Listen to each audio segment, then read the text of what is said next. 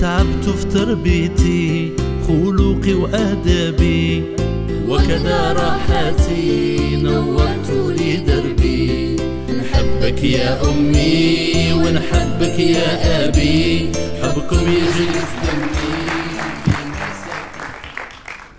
مرحبا مرحبا بكم في عدد جديد من حصتكم ولدنا تحت جناحنا.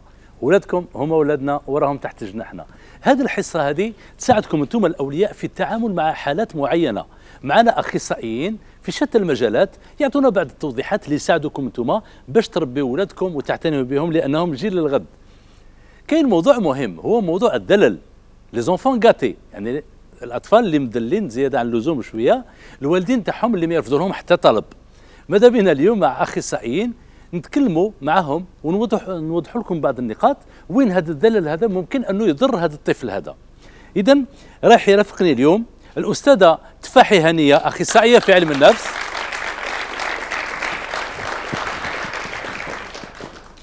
مرحبا بك أستاذة مرحبا بك. شرفتينا شرفتينا شرفتينا شرفتينا. وكذلك يرافقني السيد لابري نور الدين مرحبا بك. أهلا وسهلا مرحبا بك. سي نور الدين مرحبا بك. تفضل بخير. 39 سنة في سلك شكراً. التعليم. مرحبا بك مرحبا بك. شكرا شكرا. مرحبا بك. وفي كل مرة آه، نجيبوا ولي أمر ولا عم ولا خال ولا اللي عاش هذا الوضع هذا اللي نتكلموا عليه. اليوم معنا زيتوني هواري. مرحبا بك. مرحبا بك. مرحبا بك هواري. شرفتنا شكراً. تفضل تفضل تفضل. ونستضيف كذلك طفلة. تدير واجباتها المدرسية فوق هذا المكتب الجميل. ريما. تعالي بنتي. وش راكي؟ لابس لاباس بنتي. الحمد لله. شحال في عمرك؟ عشر سنوات. واش من سنه درسي؟ سنة خامسة. شاطرة أنت في القرايه هيا برافو بنتي. روحي لهذاك المكتب وديري الواجبات المدرسية نتاعك باش تنجحي إن شاء الله. يلا تفضلي بنتي. وأنتم كذلك يا أطفال ديروا كيما ريما. لازم ديروا الواجبات المدرسية تاعكم بانتظام باش تنجحوا.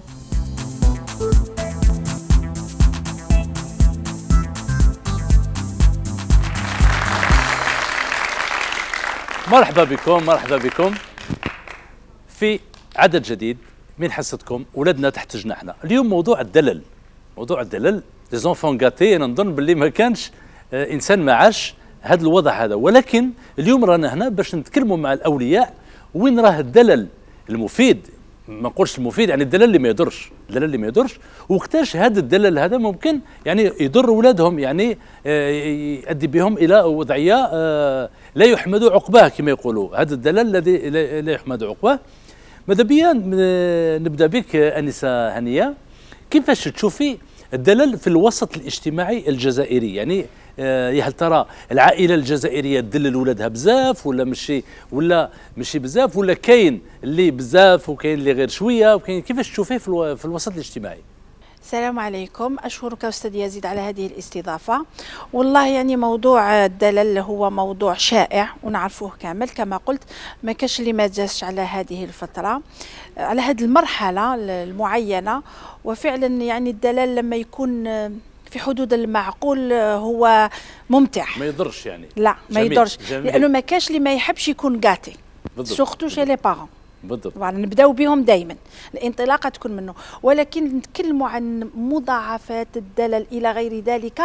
بعد ما يولي حالة سلوكية غير مكتسبة في المجتمع. بالضبط. مثلا واحد اللي يكون مدلل لدرجة أنه يضر الأخ تاعو ولا زميله في المدرسة ولا صديقه في العمل يعني إحنا كي نديروا بين قوسين الدلل هو شعور طفولي. كنقولوا في علم النفس هو عبارة عن نقوص ريغريسيون لمرحلة طفلية صغيرة. يعني اللي عنده دوك الدلل وهو كبير ما نعتبروهش دلل بالضبط بالضبط. هو يعني آه، الدلال موجه للاطفال للأطفال يعني. بعد كي إذا كبر في قعد حاله مرضية إذا قعد voilà كبر به راح يؤدي إلى أشياء أخرى إلى انحرافات إلى أشياء أخرى بالضبط بالضبط voilà. بالضبط آه، أنا كنا درنا حصة على النشاط المفرط ولما تكلمنا عرفنا باللي آه، ممكن أنه الدلال آه، نعم. قادر سبب. يؤدي إلى النشاط voilà. المفرط اللي هو l'hyperactivité نعم. هذاك آه، لما تكلمنا تما تما جاتنا الفكرة باش نتكلموا على الدلال لأن من بعد عرفنا بلي مضاعفات الدلال راهي نعم. قادرة تكون آه، حاجة حاجة كبيرة يعني حاجة مضرة حاجة مضرة آه، أستاذ لابري آه، ماذا بيا تكلم لي آه، في المنظومة التربوية 39 سنة يجوكم أطفال من كل شرائح.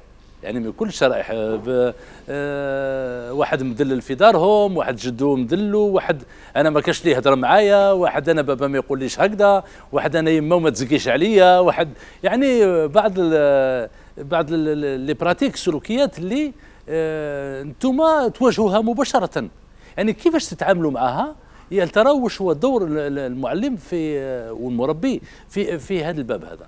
شكرا سي يزيد بارك الله فيك. آه هذا الموضوع كذلك موضوع الدلل آه شائع في آه المدرسة بصفة عامة سواء عندنا أو خارج. في الأطوار الأولى يعني. نعم نعم. هو هو يحدث كما قالت الأستاذة في في الأطوار الأولى من تطور آه، شخصية الطفل وتكوينه إلى غير ذلك. يعني شائع تما بالك في الأطوار آه، لا الدور لا، الثاني ولا لا تسيبوه ما لكن يك- قليل؟ لا كل ما يكبر الطفل كل ما ينقص، هذا. هذا الدلل. بالضبط. وحتى الأولياء يعني يدللون الصغير أكثر مما آه يدللون بالضبط. المازوزي.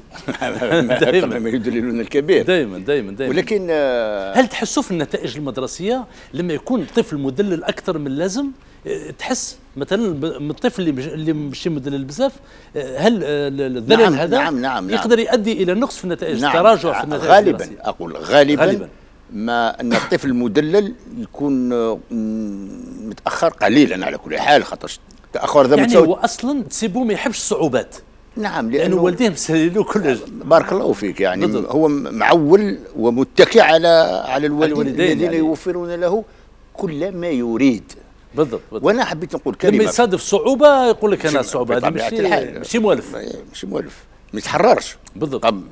آه، كاين أنا نشوف آه، أن أن هناك فرق آه، فرق ما بين في في التدلل عندما الأولياء يدلوا اولادهم فإنهم يخطئون هو دلل شيء طبيعي ولازم ولكن الدلال المفرط هذاك اللي المفرط نعم الدليل المفرط يظن الأولياء يظن بعض الأولياء على كل حال أنه لما يوفر آه، آه، آه، حاجيات الطفل ال- اللازمة يوفرها له يعني حتى في بعض الرفاهية يعني هذه حاجة آه، يعني حاجة مليحة بالنسبة لي. حاجة مليحة. حاجة مليحة. ولكن ولكن حتى في العقاب. يعني ماشي خلينا من الرفاهيه وكامل حتى في العقاب لما الطفل نتاعك انت آه، ما تعاقبوش لا يعاقب. ما يعني ما تزكيش عليهم بعد يدخل في إطار منظم اللي هو المدرسة وكامل راح يتفاجئ أول مرة جو آخر، نعم. مثلا أول مرة راح المعلم يعاقبه ولا بالك راح يبكي ولا راح توقع له صدمة يصاب نعم. نعم يصاب بصدمة يعني ممكن دوك هذا الشيء اللي يخافوا منه بعبارة أخرى آه، الدليل هو آه، النزول إلى رغبة الطفل مهما كانت إعطاء الحرية التامة وعدم التدخل في آه، إيقافه وجعل له حد لبعض تصرفاته. هذا هو الدليل عموما. بالضبط. فحينها الطفل يعيش بهذا بهذا العادة بهذا التعود يتعود على هذه السلوكات على هذه الحالة ثم يأتي إلى المدرسة. فيأتي بها بطبيعة الحال. وتجده أقل اجتماعيا أو اجتماعية من الآخرين. فلا يندمج مع الفوج مع الجماعة آه، التربوية للتلاميذ بسهولة فتجده يشتكي دائما من أي تصرف ولو كان بسيط جدا. يعني زميله في القسم يمسه فقط هكذا ف- ف- فيثور ولا يقبل ذلك. بالضبط. وهذا هذا هذا يحدث كثيرا في في ال- في المدارس وحنا نلاحظوها خاصة عندما يكون آه، عند الأسرة اللي عندها طفل واحد. آه يكون التدلل أكثر. بالضبط. طفل واحد يعني يحبوا يوفروا له كل شيء. لكن الأولياء أحيانا حتى عندما الطفل يكبر يوصل حتى لسن المراهقة يواصلون في تدليله. وهنا يصبح خطر كبير. هذا خطر كبير هذا هنا يصبح يعني خطر كبير. خطر كبير. خاصة فاش في توفير كل اللوازم اللي يحتاجها وزيد حتى فيما يخص النقود فيما يخص يعني المال. كي كيوفروا له كلش ومن بعد يكبر. ولازم له لا- لازم له يسيب هذوك النقود اللي موالفين يوفروهم نعم، له هذا بارك هو المشكل يعني. إذا يطلب أي مبلغ فتجد الأولياء ينزلون إلى رغبته ويوفرون له ذلك. أنا دائما الحكاية الطريفة نتذكرها هذاك ال- الرجل اللي ولده كبر ويماه مدلته يعني هو بالمرات الأم هي هي الأكثر يعني. تدليلا. نعم. باباه قالوا لازم تخدم. باباه قالوا لازم تخدم يا وليدي وهذاك عمره ما خدم. يماه يماه وليدي وليدي عندها ولد واحد. قالوا لازم تروح تخدم. آه، هذاك الطفل تعزم كاع يهضر مع يما يما كيفاش نخدم وأنا ما موالفش نخدم وكامل قالت له روح يا وليدي كي تنوض الصباح نعطيك مصيرفة روح الدور والعشيه كي تجي وريها لباباك قول له هذه هي الخدمة ديالي. يروح كيما كان الحال عطات له يماه يروح يدور يرجع العشيه يقول له بابا أنا خدمت يقول له اعطيني واش خدمت يحكم هذيك النقود يحكمها بابا يرميها بالطاقة هكذا. الطفل يسكت بابا ما يقول له والو. كيما كان الحال. تكرر الوضع. واحد النهار يماه كانت غايبة. يماه كانت غايبة عندها طرف عندها ظرف طارئ. راح خدم. قال أنا ما ما صبت عليها وين بابا دوك يغضب؟ راح خدم هذاك النهار وجاب هذوك النقود. يعني مدة أيام وبابا يرمي في هذوك النقود وما يهدرش. نهار اللي خدم قال له آه، خدمت اليوم قال له أيه أنا خدمت يا بابا. قال له اعطيني هذوك النقود احكم هذوك النقود جاي يرميهم بالثقه قال له حبس حبس حبس حبس قال له. قال له يا وليدي هذو هما برك اللي تعبت عليهم.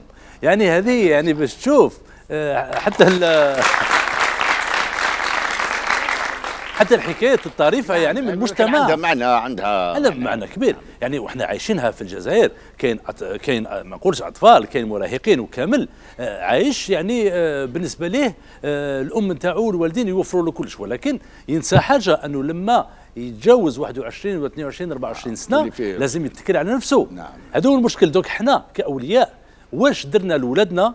باش سلحناهم باش يواجهوا هذه الحياة؟ والحياة قاسية. لماذا؟ لأن الحياة فيها صعوبات العمل ماهوش سهل وكامل. آه ماذا بيا أستاذة؟ آه هاد الأولياء هادو اللي الأم تصيبها تخبي على الطفل يدير حوايج ما تقولش لباباه هذا هو الدليل يعني هذا هو الخطير أنا بالنسبة لي هذا هو هذه النقطة اللي ماذا بيا نتكلموا فيها نعم آه، كاين أمهات اللي سواء مع البنات أو مع الذكور. يعني par exemple تخبي على الأب تاعهم هي من الباب تاعها كي تخبي تقول لك باش نقص المشاكل ولكن ماهيش ظنه بلي راهي تتكون مشاكل من جانب آخر بالضبط. لأنه علاش لما يكون المشكل لما يقسموا يتقاسمه الأب والأم يكون أخف شوية par exemple كاين أمهات اللي تخبي على أولادها par exemple اللي أو يروح يسهر في الليل مدلاته وتزيد له دم يسهر في الليل حتى ولا يتكيف سجائر ولا voilà. أي حاجة par exemple ولا. كاين أمهات يعني ممكن. آه، وكان قسمت هذه الأفة هذه مع مع الوالد بالك كان ممكن يلحق وليده وهو مازال صغير voilà. انه بعد هو كي كي يكتشف وليده عنده عنده يكون مشكل متأخر. ويكون كبير خلاص voilà هنا ندخلوا في في الدور هنا هنا وراه دور الأب وراه دور الأم. معليش نقولوا للأم دللي ولكن كل واحد يأخذ حدوده. أنا أم في حدود المنطق par exemple حنا مع أزواجنا ولا par exemple أطفال يطلبوا منا أشياء؟ كاين أشياء نقولوا لا لا هذيك الأب تاعك اللي يديرها ماشي أنا. وكاين اللي لا لا يقول لك أنا يما هي اللي تقول لي دير كلش. بالضبط. شغل هي اللي توفرها له. لازم المجتمع. الجزائري المجتمع الجزائري هو يبان بأن الرجل هو له في مرتبة آه، السلطة والقوة. ولكن لو كان نتعمقوا جيدا نلقاو أن الأم هي اللي تحكم. يعني هنا لعب الأدوار اختلف دوك الطفل تكون المثالية تاعو شكون؟ c'est l'idéal c'est la maman. يعني والأم تمشي بالعاطفة. عمره ما حيفكر كرجل وكسلطة وكموضوعية. بالضبط بالضبط بالضبط.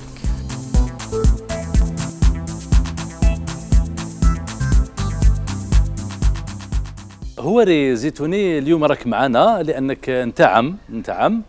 آه ماذا بينا ت- تقسم لنا التجربة نتاع نتاع ولاد خوك؟ ولاد خوك كيفاش آه آه كيفاش كان مفششهم؟ وهل ي- ي- هل ترى هذا الدلل هذا ضرهم في الدراسة نتاعهم ولا ما ضرهمش ولا وكي دخلوا يقراوا هل حسوا باللي باللي هذا الفشوش هذا هذا الدلل هذا أثر عليهم ولا لا؟ تفضل. السلام عليكم. نشكرك أستاذ يزيد على هذه الدعوة في هذه الحصة الرائعة تاع اولادنا تحت جناحنا. الله يخليك. مع هاد الأساتذة الرائعين. الله يخليك. وأنا الحقيقة التجربة نتاعي مع ولاد خويا صح الدلال ما ضرهمش في الدراسة بزاف. اسكو كانوا مدلين بزاف؟ نعم. من الوالدين برك ولا حتى ال- حتى الجد والجدة و- كل شيء الحق. كامل لا؟ تحموا لهم كل شيء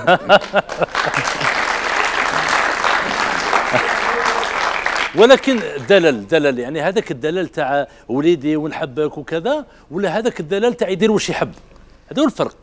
آه، الدلال تاع وليدي ونحبك وكذا. هذا ما يضرش أنا ما على ما نظن ولكن الدلل هذاك تاع الطفل تسيبه يدير واش يحب حتى يوصل حتى للنشاط المفرط يعني حتى l'hyperactivité لأنه ولف يدير واش يحب. هذا هو. كنا لله. نوصلوا لذاك آه، الشيء دوك دركتوا الوضع داركنا الوضع. ولكن من قبل قبل آه، في ذاك الدلال آه، واجهنا بعض المشاكل صح في الدراسة ما أثرش عليهم الدلال ولكن آه، في الدار ولا أنا عمو كبير قول له جيب لي ديك الحاجة يقول لي لا ما نجيبش آه يعني يفرض الشخصية نتاعو كامل وبالنسبة ليه ما تقدش تتعامل ما ياخذش. الرأي. كي يكون الدلال هكا مفرط ما تقدش تع- تتعامل مع هاد الأطفال. يجي التعامل صعيب صعيب كثير يقول له ما يسمع ما ي... ومن بعد كي ما يسمعلكش انت واش كنت دير est-ce que تقول لوالديه ولا ت... ولا تعاقبه وحدك ولا كيفاش كنت دير آه، في المواقف الأولى كنت نقول لوالديه. آه. والديه ما كانوش يدوها بزاف ما داروا والو. قال لك ما حبش. يهضروا معاه قال احترم عمك. آه. كذا. بصح كان سيطروطه كان ديجا دلل كان ديجا دلال وبولوي هذيك هي الحياة يعني. ورلوي هذيك هي الحياة.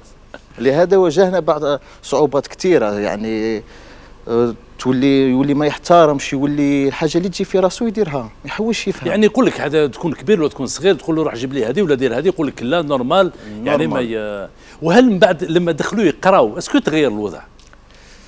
كي parce que الطفل لما يدخل للمدرسة من المفروض آه، إحنا ننتظروا منه أنه يتغير الوضع. لماذا؟ لأنه il va s'affronter l'autorité يعني هذاك النظام هذاك تاع المؤسسة المدرسية يعرف باللي كاين نظام لازم يمشي فيه. تغير الوضع شوية.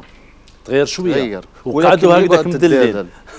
ومن بعد كيف كيفاش تعاملتوا معهم يعني؟ والله وفي الدراسة نتاعهم ما كان حتى مشكل. وإحنا المشكل اللي صادفناه انها ونشكرك بعد على هذه الحصة الرائعة جدا. الله يخليك. لأنه ما كانش حصص كما هذه اللي توعي الآباء. أنا نشكره بدوري لأنه آه، بارك الله فيه عنده الحق. لابد. الأولياء ما يا حليل أنا نقول يا حليل. نعم نعم. الكبدة. نعم. الكبدة. ولكن ولكن كما قلت قبيل اللي عندهم ولد واحد سمح لي هذه أكثر. ما عندهمش تجربة في التربية. نعم. عنده ولد واحد هذاك هو الأولاني. نعم. يقول لك هذه الحياة يعني هكذا. تفضل. نعم ولكنهم آه، يجهلون الأولياء يجهلون كيفية تربية الأولاد. ففي هذه النقطة هذه اللي نتكلم عليها التدلل آه، ف آه، أحيانا يروحوا لل- لل- للإفراط. الإفراط. وإذا زاد الشيء عن حده بارك الله فيك. يعني الإفراط. في كل شيء مع مع مع الطفل ولكن كاين هناك العكس اللي هو التفريط. يسمح في الطفل ويخليه يكبر هكذا أو يكبر وطالع لوما. لا هذا ولا ذاك ينفع في التربية. خير الأمور أوسطها. نعم خير الأمور أوسط. الوسطية في بالضبط. التربية سواء في الأسرة في العائلة أو حتى في المدرسة.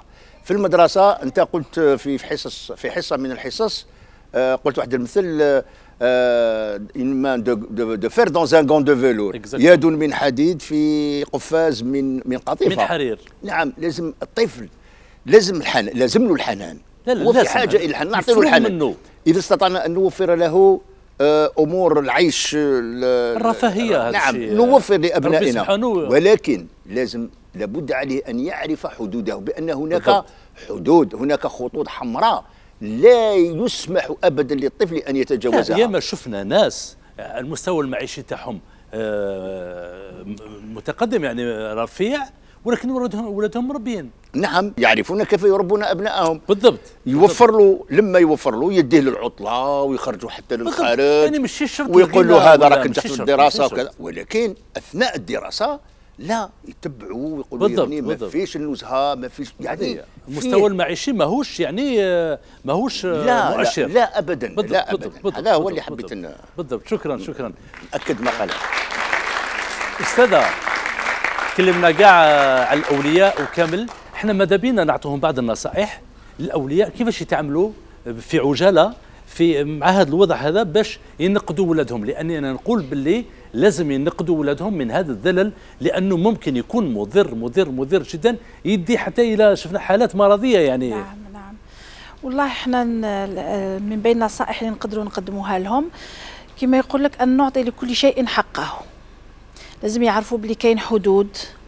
آه، الدلل هي حالة. ما كاش اللي ما يحبش يدلل.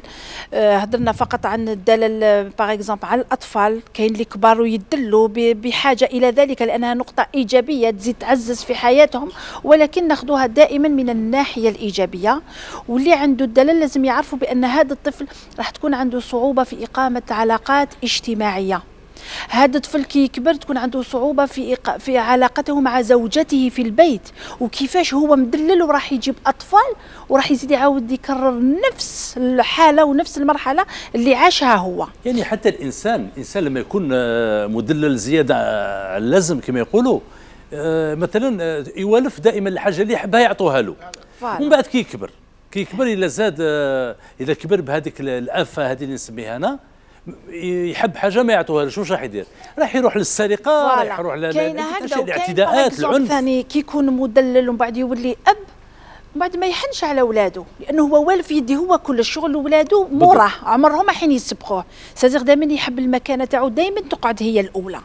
هنا إحنا ننصحوا هاد الأولياء نقول لهم كل حاجة عندها حقها عندنا حدود لازم نفصلوا بين الأطفال ولازم الكبير كبير واللي صغير صغير والأب مكانته والأم مكانتها والجد عندها مكانتهم يعني لازم هاد يعني الجد والجدة. والله الجد والجدة معروفين بهذا الشيء. معروفين. تقول نقولوا الجد والجده ولكن أحيانا الجد والجده نلقاو عندهم حوايج بزاف لازم بالضبط، حنا نديوها من. عندهم لا خاطر تاع دوك. par exemple أنا des fois أحيانا نشوف الدلال عند الناس اللي ممكن كانت عندهم صعوبة في المعيشة. مثلا تقول لك أنا نوفر لاولادي parce que أنا ما كليتش أنا ما إيه درتش. شغل. كاين حاجات ولكن. كي نشوفوها بصح خدتها من الناحية السلبية. يقول لك par exemple أنا ما توفرتليش يقول لك ماذا تحرمت ولادي ما إيه، يتحرموش. ماذا بيا؟ ندير لهم كلش. أنا نقولوا نديروا كلش ولكن بحدود.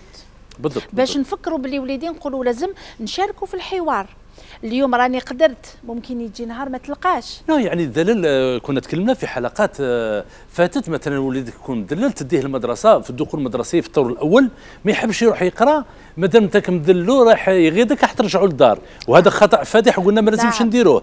هذه وحدة وثاني وليدك آه، كي يكون آه، مذلل وما تقدرش توفر له شيء من بعد آه، قادر يتعزم قادر يروح إلى أزمة أزمة أخرى يعني أزمة تربوية أزمة تربوية إحنا في مراحل نمو الطفل دائما كنا نتكلموا على الأزمات نعم. يعني نحاولوا الأس... الطفل هذا ما يتعرضش إلى صدمات الأزمة. لأنه الطفل لما تولف له تعطي له تعطي له تعطي له من بعد تقول له لا لا ما كانش هناك تكون صدمة نقص، تكون صدمة نعم. ولكن كل الصدمه والحدة نتاعها والقوة نتاعها نعم. أنا نقول لازم يكون توازن توازن في العلاقات بين الأب والأم بين الجد والجدة أنا نشوفها كنا صغار أنا مثلا جدي هو اللي كان مدلل لي أكثر منهم كامل ولكن الأب كان يوازن من هيك نعم. أبي يوازن الأم توازن الجدة توازن كل واحد عنده الدور نتاعو هذا هو الشيء اللي لازم نوضحوه للناس نعم. انه الدلل المفرط هذا قادر. يدي إلى عواقب وخيمة وخيمة تدي للبيراكتيفيتي تدي للسرقة تدي للرسوب المدرسي. تدي تدي يعني عواقب لا يحمد عقباها إن شاء الله تكونوا استفدتوا معنا في هذه الحلقة الخاصة بالدلل. اذا ما تدلوش ولادكم بزاف حبوهم اعطوا لهم الحب والحنان ولكن ne les gâtez pas beaucoup لأنه الطفل المدلل ممكن هذاك الدلل هذاك يشكل له عائق في حياته المستقبلية. اذا تقدروا تتابعونا على موقع الإنترنت ولادنا تحت جناحنا point com ولا صفحة الفيسبوك ولادنا تحت جناحنا. استنونا في حلقة مقبلة في الأسبوع المقبل. سلام. من حقنا ندرس ونتعلم حتى ننجح نبذل جهدا. نحن نريد طلب العلم لننفع أهلنا ولبلدا نحب الجري في كل مكان. حق اللعب يزيدنا فرحة وكذا علاجنا بالمجان. حتى ننعم بالصحة. من حق الطفولة. صحة علم وحب وحنان لا مقهورة. ولا مدلولة تحيا بسلم وأمان نفوسنا عنها مسؤولة حقها واجب.